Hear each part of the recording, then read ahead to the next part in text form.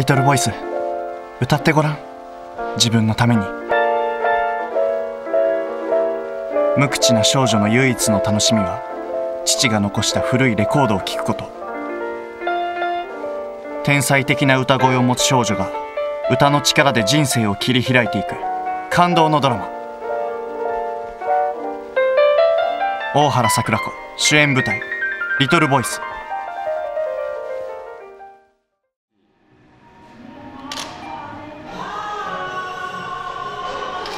そ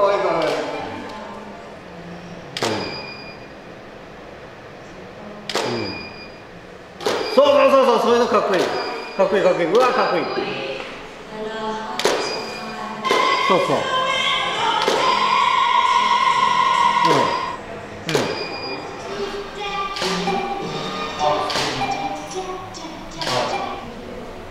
ん。ああ素敵。はいはいああいいですね。はい。はい。